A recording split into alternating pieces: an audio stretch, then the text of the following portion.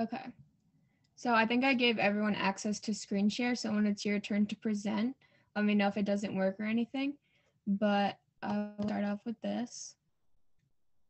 So welcome to our social justice virtual gallery. And today we'll be exploring the concepts of justice, identity, and strength through art and written work, as well as presentations. So this is just a little schedule that we have. And we will start off with the first presentation. Let me know if this screen sharing doesn't work or anything. And I'll keep this up as a little introduction.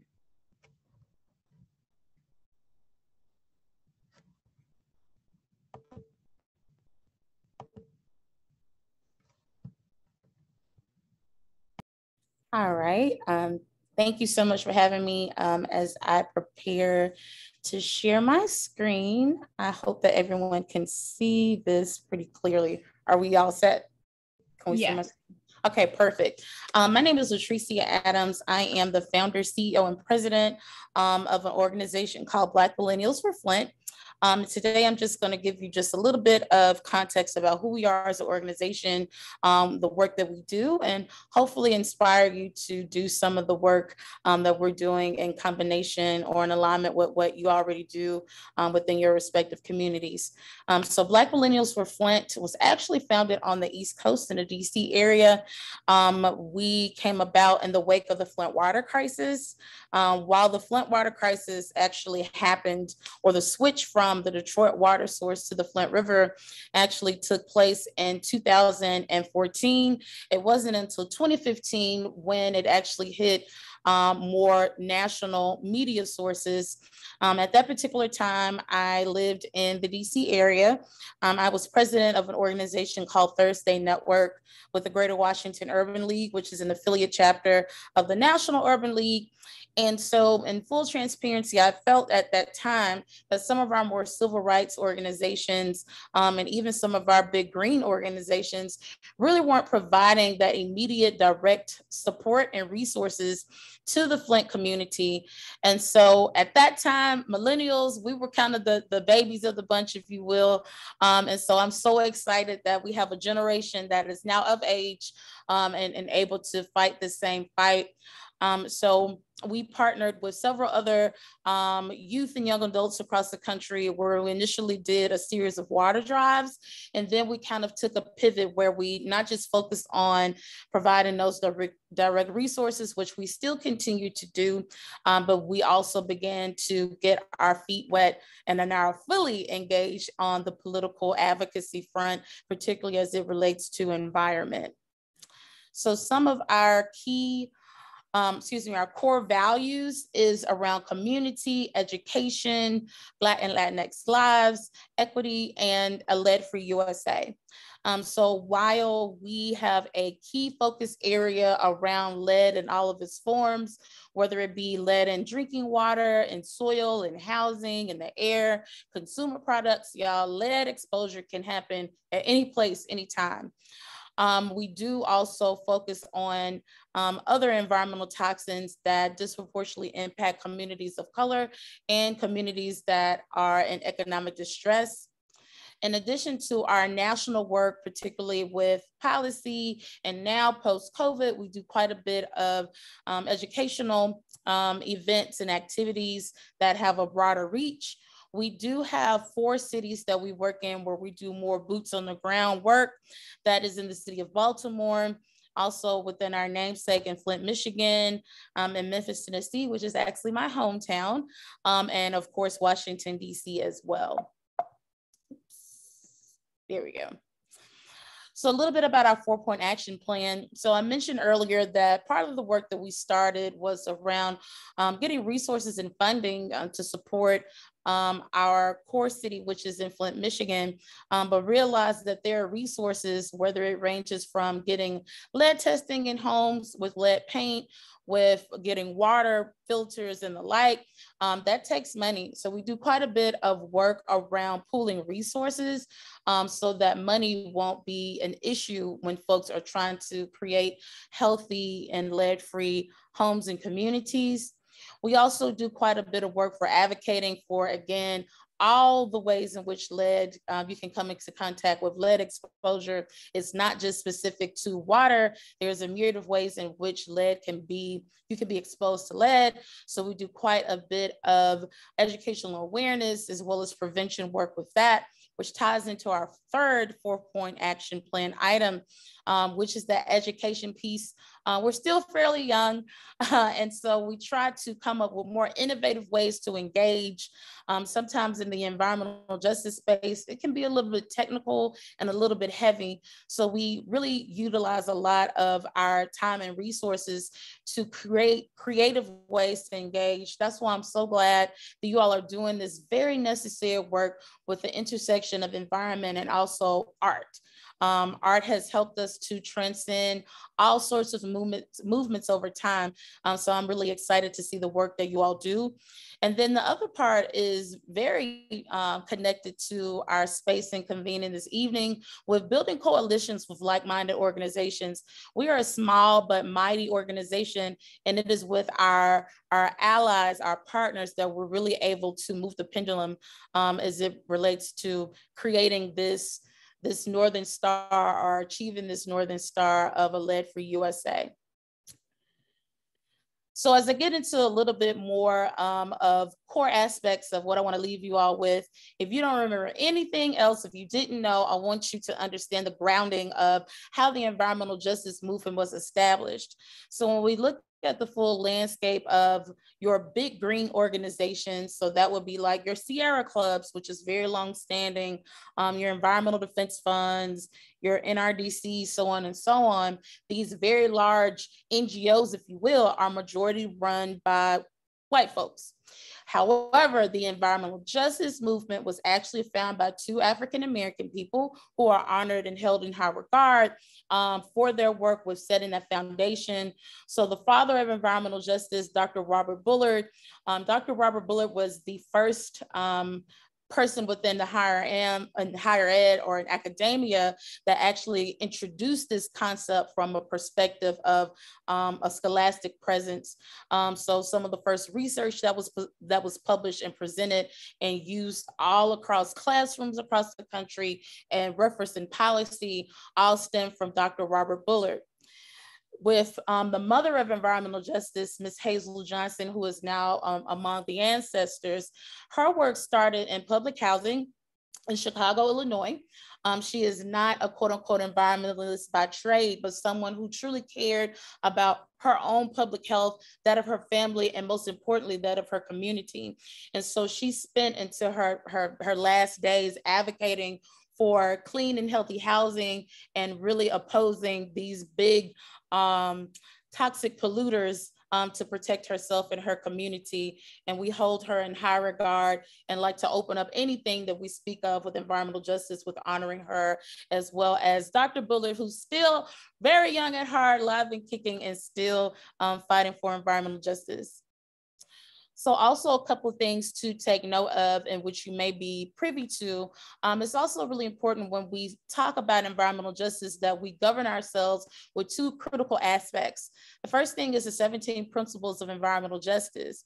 So with these two folks that I mentioned, they're actually two of the founders among many Black and Brown, so Black, Latinx, um, Indigenous, Pacific Island, folks of color who came together and assembled about 30 years ago in Washington, D.C., and came up with these 17 principles of environmental justice that should truly govern all of our work as we advocate to protect Mother Earth, and then another key component, especially when we think about spaces in which we um, invite um, allies into this space, um, when we really focus on decolonizing um, environmental spaces, we ground ourselves in the Jemez principles, which is really critical um, as it relates to inclusivity and making sure that the heart of the people, that the true aspect of democracy is what is governing our work and our actions.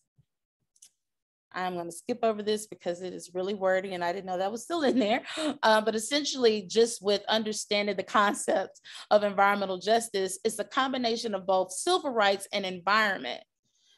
And some other historical aspects of the EJ movement.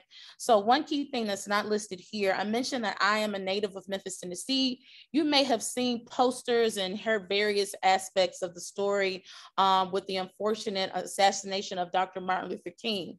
The reason why he was in Memphis, Tennessee was because of the sanitation worker strike. The sanitation worker strike was actually the springboard of the environmental justice movement. If you're familiar with what caused that protest, it was heinous working conditions and environments, particularly in the sanitation sector, where people were losing limbs, people were drastically ill, and then unfortunately, people lost their lives. Um, we know that in the 60s and the 70s, there was quite a bit of work being done as it related to um, civil rights. Um, on the other part um, of the South and North Carolina, um, we saw uprisings and we began to see people protest specifically around environmental justice issues, particularly in Warren County in North Carolina, where people were protesting landfills um, that were in complete just overabundance and concentrated in this majority Black um, and economically disenfranchised community. And so just some other intersecting movements that kind of are adjacent to this work, of course, with the civil rights movement, um, the anti-toxic movement, which really got its, its um, bearing in the 70s until this day. Also the intersectionality with labor, um, indigenous struggles and, and tribal issues, um, academia, and then of course, mainstream environmentalism. So as I mentioned earlier, here's a phenomenal um, text among many um, from Dr. Robert Bullard, um, Dumping in the Dixie. If you've never read this before, I would definitely recommend it.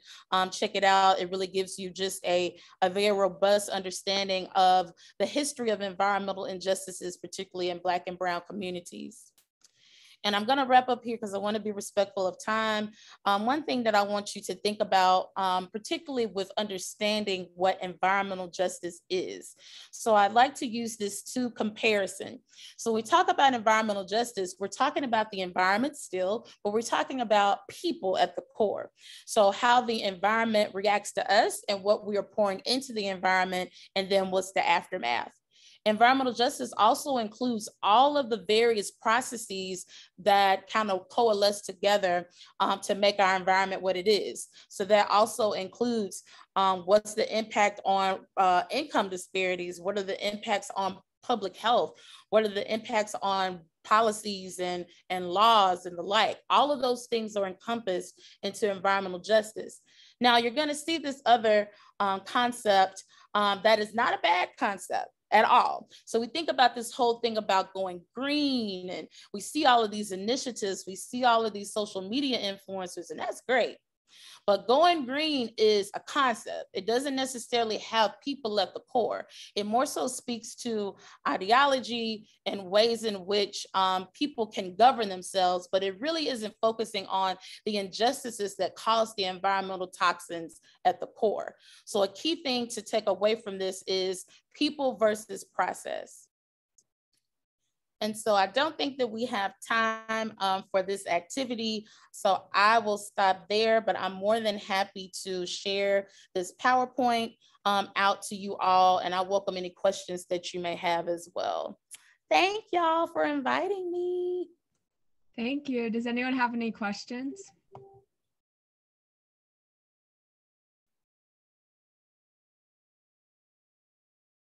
Um, I can ask one. So if people want to get involved in your organization or in work similar to your organization, how would they go about doing so? I am going to drop, that's an excellent question. I'm going to drop our um, website and also our social media handles in the chat box. Please follow. Um, and then we also have, I'll put our um, email address in as well. Um, if you don't have questions now, or if you want to partner on something, that you'll have the info to reach out to us. Yeah. Awesome. Thank you. Thank you. All right. So if no one else has any questions right now, we will move on to the second presentation.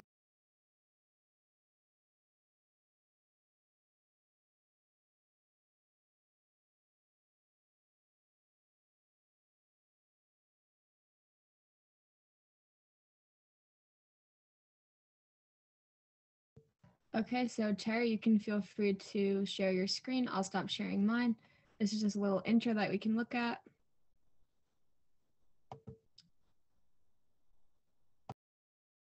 All right, thank you for the floor. Um, can I just quickly check if you can all see my screen? Yeah, we can see it. Thank you. Great. So, all right. Um, hello, everyone. I'm Cherry Sung, and I'll be speaking about youth taking action, youth deciding for their own futures. Because in this social justice virtual gallery, I wish to speak about how youth is underrepresented in decision making tables, especially for their future environment, and that their voices are have been oppressed so far and we need to create a space we need to create an area for them to speak up for themselves so to introduce myself quickly i'm a rising ib sophomore at Chadwick international south korea i have great interests in international relations economics and youth activism all because this environmental justice issue roots in how the international and inter like intersectional or interregional areas um, have conflicts with each other. Uh, so I learned a lot in Model United Nations doing networking and a lot of researching. I am the founder and executive director of a youth-led organization called Greener's Cleaner. I am a volunteer at Greenpeace Korea. I'm the youth representative of carbon neutrality and resource circulation in the Ministry of Environment and the chairperson of the National Environmental Education Youth Steering Committee. So to talk about my organization, Greener is Cleaner, and how this connects with the youth um, activism and youth representation issue, I would like to first introduce you to our vision and our mission. We are a youth-led organization founded in 2018 that leads by example to empower youth to take action for the environment and thus their futures. Because we recognize this issue where youth voices are underrepresented and it has been oppressed so far, we wish to provide opportunities for youth to express themselves and voice themselves for the environment. For example, we um, have these aims of raising awareness. So we create media such as podcasts, um, infographics, YouTube, etc., about environmental issues in all different areas. We empower and inspire by leading by example. This means that we, for example, adopt sustainable practices, sustainable habits, and encourage other people to join. We provide online and offline opportunities to learn and take action for the environment. So, this will be things like programs, webinars, competitions. And lastly, we make environmental education more accessible and fun by creating lesson plans, visiting schools and classes to conduct environmental education sessions. And we also um, connect with other organizations to um, share resources for education. Uh, as you may have already know, the United Nations Sustainable Development Goals are due by 2030, and these are like the main focuses that the United Nations um, uh, activities and programs, all those initiatives revolve around. And our focuses are 11, sustainable cities and communities, 12, responsible consumption and production, and 13, climate action, through the mechanism of partnership for the goals, which is goal 17, the last one so by doing all of these things by focusing on these things we have impacted and involved over a uh, thousand youths from five different continents and we have been investing four years for the cause. And to be more specific our approaches uh, come in three ways. The first thing is service leadership. This is a combination of service as action and leadership as a as its own. So what we do to foster service leadership in all the youth is that we develop a network of change makers who lead by example. This not only pertains to the members of the organization, but also the different community channels that we um, organize, such as Discord, um, Instagram, all of those uh, Facebook groups as well. And by connecting these individuals in one place, we get um, more solidarity, we get greater inspiration from each other, and etc. We also use creativity as a mechanism to uh, go and express um, different ideas. So we create a space for youth to take action creativity, creatively, promoting the STEAM principles. For example, uh, one of our competition involves uh, SDG essay writing competition. So it can be a creative writing, it can be uh, um, an informative, etc. We also have a junk art competition and a DIY thrifting competition where people, where youth can use their creative skills, they can use their passions for art, for example, to connect those passions and interests into environmental activism and voicing out themselves. Lastly, we take sustainable action, which means that we don't stop taking action so that we can reach our goal at last. So we are trying to create a sustainable path to reach our goal because we have learned throughout the four years that um, taking action sustainably leads to greater change and taking action together leads to a bigger change because more people are involved and more voices are being heard. The international projects that we provide or conduct are, first of all, website. We have a website called www.greenerscleaner.org where we introduce our projects. We upload weekly website articles that are mostly informative. We have a newsletter subscription for similar causes. For programs, we conduct an Ecoloki conference, which is a international webinar to be uh, in a nutshell, where you join all uh, from all different continents and countries they discuss a particular social or international environmental issue and discuss solutions together. We usually have guest speakers for these, but the main focus is on the discussion that youth have from different countries. The past Ecoloki, like the most recent one that we held, was about ending deforestation by 2030 because that is one of the Glasgow Pact promises. And we had um, participants all shared their own countries like progress on ending deforestation by 2030 and what they think as an individual about uh, how does this feasible or not and uh, how the countries should work together to actually reach this goal we also hold a sdg summit um, and a cohort slash fellowship about un sdgs we um, whole competitions, as I said before, um, about like DIY thrifting, SDGs, eco art, etc. Some media content to raise awareness that we create are podcasts, YouTube, infographics, reels, and TikTok. So as use, we try to use as many social media that we can uh, access and we have hold of to raise awareness through all of those channels. But nationally, we have a chapter in South Korea that I run in my school and around my uh, I, I would say neighborhood or um, town or city. Uh, so what we do are participatory activities such as Green Spirit Week, where students get to um, familiarize themselves with um, things that are more eco-friendly and they can learn more about environmental issues. For example, we held a eco raffle where they can get an eco-friendly material. We do walk and roll days where we encourage people to walk and roll instead of riding CO2 emitting um, vehicles. We have like an interview uh, in, involved in the Green Spirit Week to kind of learn more about what different people in our school are thinking about.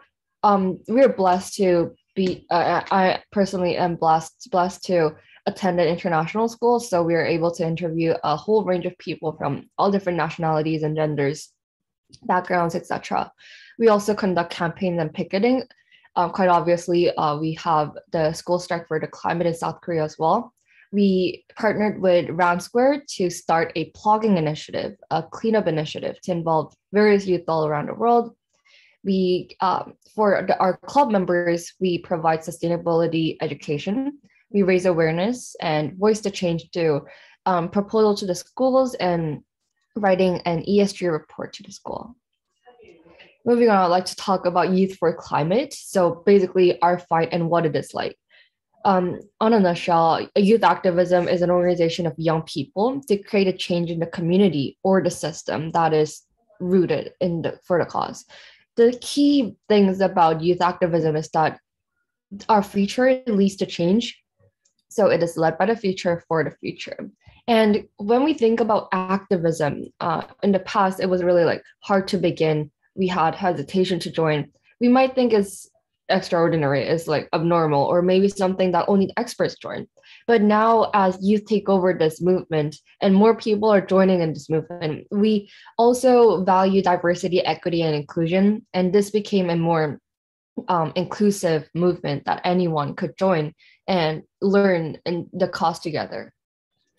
But why is youth activism really important and significant? I think there are three reasons. The first one being ideas that transcend those above uh, over um, the past generations.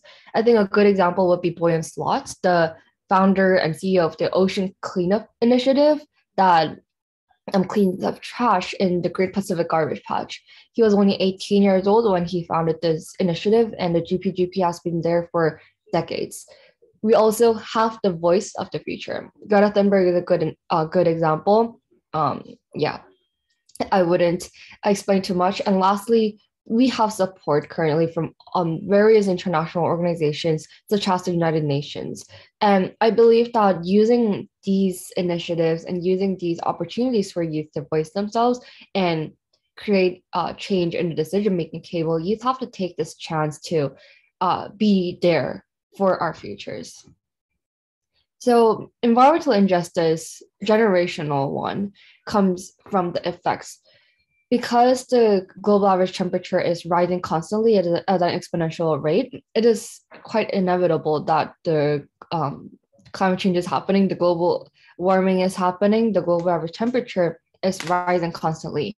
And this is the future that the current youth will face and the future generations will face. Even the current generations are suffering from uh, the different effects, the disproportionate effects of climate change at the moment. And this will just worsen year by year and generation by generation. However, the thing is that the youth currently are not represented equally. 51% of the world's population is under 30, but only 2% are members of the parliament globally. So, how can youth be part of this change? We can mobilize movements, raise awareness, and educate people. We can propose policies, be part of the government, parliament, national assembly, whatever you have, and lobby um, uh, the government. We use science, social media, and solidarity to take action for the environment, and which is one of our key values. So far, youth have been in action, um, despite the inaction of the government for example, Greta Thunberg, uh, 17 from Sweden, uh, Lily from Thailand. Uh, she is a, a plastic plastic pollution activist where she called different corporations in her country to reduce their plastic consumption and production. You may also know about this very young uh, activist called Licypriya in India. She protested and took action by uh, showing people and doing protest campaigns, strikes with a plant uh, connected to her uh, breathing mask. And uh, I think one of the earliest example of youth in action could be Severn. She was 12 and she, and she was she born in Canada, but she spoke at the Rio summit about how youth activism is really important and climate change is turning into a climate crisis internationally, some actions that have been taken for youth to be more involved in the service action is, for example, in Indonesia, it, they have made a requirement where youth have to take service action for the environment, um, mainly to graduate. It's a graduation requirement.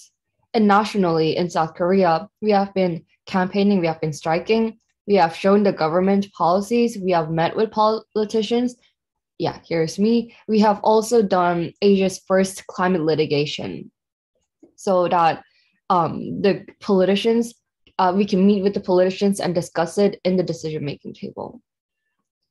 And so, and in March of 2019, which is kind of like the biggest climate strike before COVID 19, 1.6 million youth in 125 countries hit the streets for the Youth for Climate strike.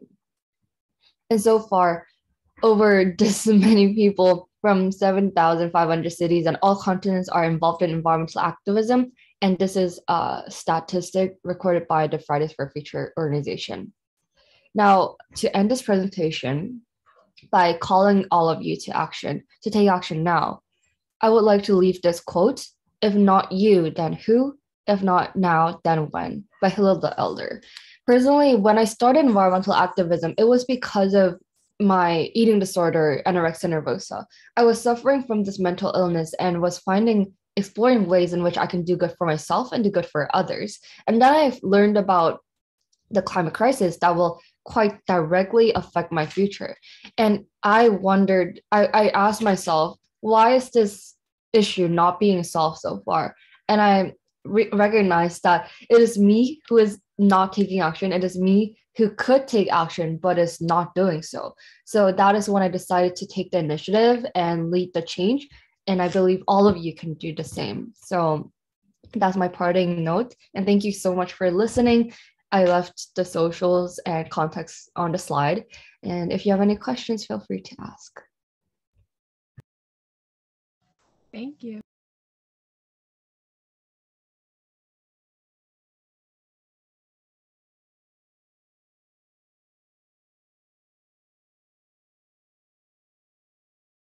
Okay, if no one has any questions, we'll move on to the third presentation.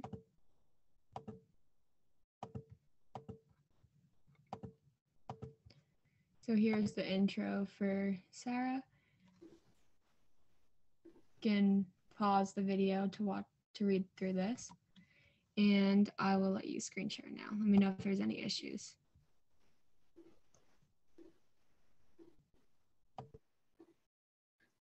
Um, can you see my screen? Yes. Okay, awesome. Thank you so much. So hi everyone, welcome to the EarthBurned Social Justice Gallery. My name is Sarah. I'm a top 25 environmentalist in Canada. I'm also a poet and science researcher. It is an honor and privilege to be speaking to here, here to all of you tonight. And I would like to thank the organizers of the EarthBurned Conference for giving me this incredible opportunity. I would also like to thank the presenters as well for their inspiring speeches. It was so educational and inspiring. So thank you so much. Um, for tonight, I'll be talking about one of my projects in the field of climate tech and environmental stewardship, and as well as some tips and advice that have allowed me to successfully reach my goal. And I hope that will help you as well. So I want to begin with an introduction on how I got involved in the climate activism space. So for me, one of the most important moments in my journey or my career was when I realized the severeness of climate change. And it was about in grade four. So our teacher gave us to do a global issues project and I chose climate change. And so when I did a bit of research for this assignment, I ended up discovering these alarming rates and these alarming numbers of the aftermath of climate change. And that's when I really realized that climate change was this huge issue. It was affecting millions of people, and immediate attention was required towards this global issue. So while I followed the latest news and was building my passion for STEM at the same time, I remember one day walking into my grade four class, and then our teacher had put this quote on the wall, and it said, Be the change that you wish to see in the world. And this really resonated with me because um, at that time I felt like I wasn't really doing enough, or maybe there was something that I couldn't really do. But seeing this quote made me think that I needed to take matters in my own hand, especially seeing how there was less climate tech developments in certain areas of um, contributing to repairing some of the damage of climate change. So I began first with community involvement and researched different opportunities uh, and then soon slowly transition towards the intersection of STEM and environmental stewardship. And so one of the projects I'll be talking to you about today is um, a project I've been working on for the past two years, and it tackles a problem that we hear quite often. And that problem is oil spills. So exports and imports are very crucial. They're very important for economy and, for example, getting produce that we can't grow here in Canada. Um, but the aftermath of these huge boats that um, import and export all these items is really detrimental to the environment. As you can see through these pictures, in just a few days or in just a few hours, multiple oil spills can happen. And um, this in turn causes 1.3 million gallons of oil to end up in our oceans. And because current remediation methods aren't that effective, um, there has still been 4 billion tons of oil left in our oceans to date. And to date, this has killed over 100 animals each year because of hydrocarbon spills in the ocean. So seeing how this was a huge prominent issue and current solutions only remove up to 60% of oil, and at the same time, there is no sustainable or biodegradable solution, I wanted to see if I could design something with the power of science. And that's when I came across the term biomass. And essentially, I decide to focus on the biomass, which is orange and pomegranate peels. So before I talk a little bit more in scientific terms, I want to put this concept that is applied in science in a bit more perspective.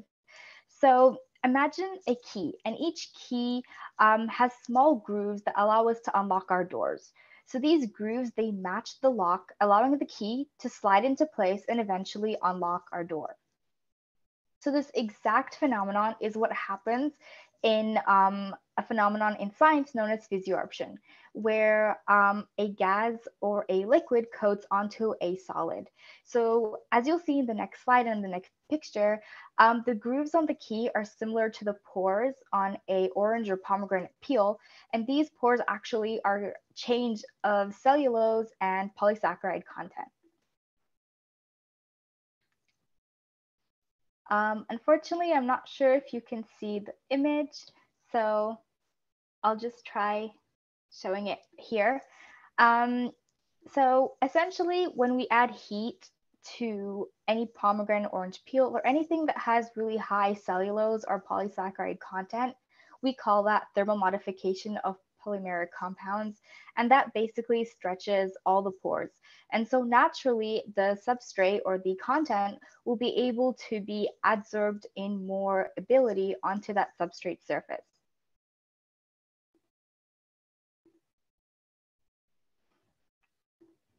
So in working on my project, um, I definitely did learn a lot in science and um, my final prototype, because there were definitely a lot of trial and errors when working on this project, my final prototype was able to remove 98% of oil, which was my fourth prototype, and combined also an aerogel, which I'll be talking about right now. So while I did learn a lot about in the science and how science can be used to repair a lot of the damage done in, by climate change, I also learned about perseverance, growth mindset, and of course, consistency. But the most important thing that I learned, and I would like to share with you all today, is the fact that there is always room for growth and there will always be an opportunity to 10x your impact. So while my first prototype only removed oil, I still wanted to see if there was an opportunity for my biosorbent to possibly remove more harmful chemicals from water and not just oil on its own. So after doing a lot of research, um, I discovered the term aerogels. And basically an aerogel is the world's lightest solid. And depending on what you can make it from, so for example, for my project, I made it from cellulose and alginate, eventually you're able to remove different chemicals from water sources. And after a lot of trial and error and combination methods, I finally was able to create a biosorbent aerogel combined together that could remove oil, heavy metals, so let's say lead or cadmium from water, and at the same time, different organic compounds with an efficiency of about 98%. Emerging technologies offer so much potential to solving various aspects of the climate crisis. There are many fields of exponential technology, such as carbon capture, nanotech, material sciences, or even cellular agriculture, that can really solve some of the world's biggest problems, and they can help us reach our rate at an exponential point. But of course, this is not a one person effort. We need to work collectively to sustain a brighter future. But it's really important to mention, though, that you also need to be willing to create your own opportunities. So, for example, in the climate tech space, when I saw that there wasn't really any improvement in removing oil from waters, um, I decided to take matters into my own hand and create my own opportunity, which was uh, a solution. So, you need to be willing to take that first step forward in order for more opportunities to come to you. Networking is very important, and so is building that outreach skills. So um, I highly recommend that it's always really good to get advice from industry leaders in the field. So just by reaching out to them, sharing why you're doing what you're doing and why it's so important to you can really help you out in the long run. Another very important mindset to have is um, the way we navigate through life, but also the way we determine success. So we're often taught that success is our willingness to try, when in fact, success is really our willingness to fail. Because in all certainty, we definitely will have times when our projects will not go the way that we expect them to. And there will be times where we need to try to do more trial and error than what we initially planned. And so obstacles make the path to success. So with no challenges, we will never be able to grow smarter or stronger at the same time. With every door that closes, a new one opens, and there will be more choose from than the last. That, that being said, there will always be an opportunity to achieve your goal. Whatever your goal may be, all it takes is that one yes. So continue to persist because there will definitely be times where you will get a no. All it takes is just one yes to reach your goal. And we often think that creativity and inspiration comes naturally to individuals, when in fact, this is quite the opposite. We really do need to make research on a topic or something that really does um, motivate us or something that we think that's very important to ourselves. So asking ourselves questions like what motivates me? What excites me? What is something that I believe that needs to be solved and what's important to me can initially help us find our voice, our passion, our creativity and inspiration, which will allow us to change the world your age does not define you, as I always say. And I think this is one of the most key pieces of advice I would give throughout this presentation. And it's also something that I learned when working in the field of tech, especially as someone who's 17. Um, you don't usually see a lot of people going into university labs trying to complete different science projects. And so um, I learned that your actions don't define you, uh, sorry, your actions define you, not your age.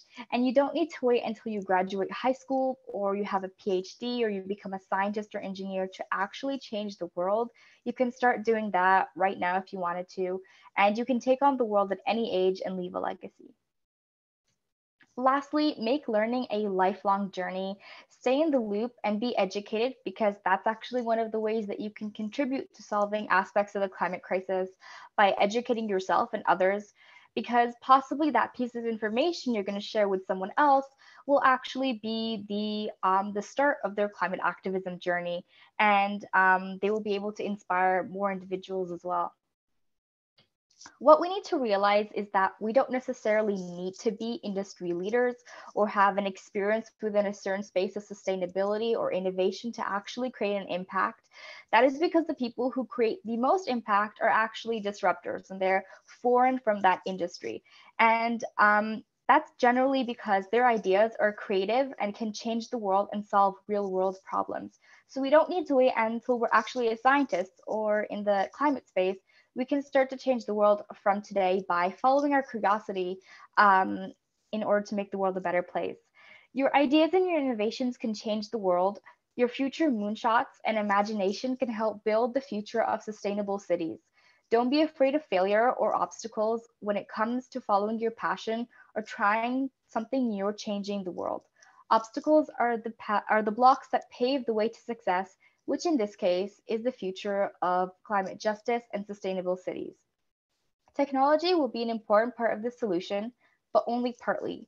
Therefore, to achieve a future of sustainability, we must work together by exchanging knowledge, resources, and ideas. Climate awareness and problem solving is a collective effort, one we can battle with the right tools and community power.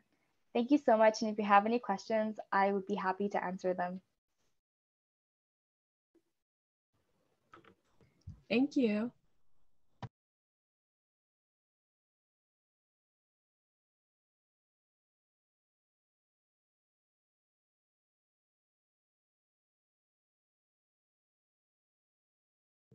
Okay, if no one has any questions, I will just quickly show um, our two people who created art for the gallery are not here, but I will quickly present their work for them.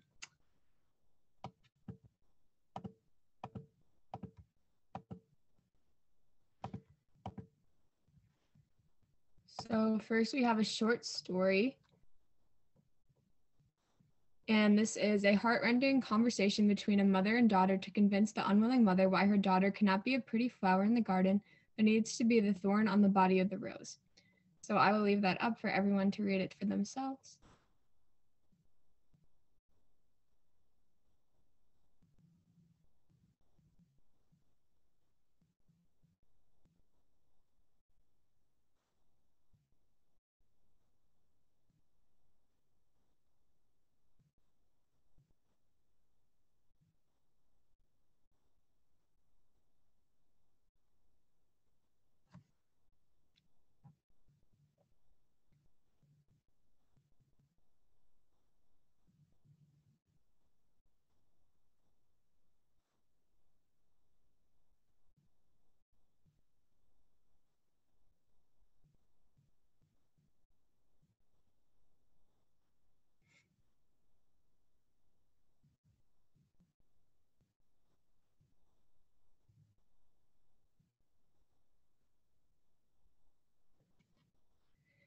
it. And then secondly, we have a piece called Fairyland Utopia.